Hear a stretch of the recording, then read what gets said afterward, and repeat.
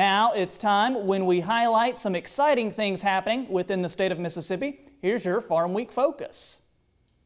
For today's Farm Week Focus, we travel to the western part of the state. About 75 people turned out for a field day just outside of Greenville, Mississippi this month. This annual event took place at Patterson Farms in Leland and was sponsored by the National Black Growers Council.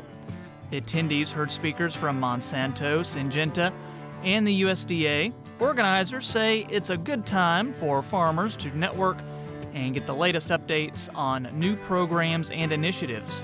Topics included new irrigation technology, pest management, and crop insurance. The NBGC states their mission is to improve the efficiency, productivity, and sustainability of minority farmers. If you have an event you'd like us to cover, then let us know, and you might see yourself on our next Farm Week Focus.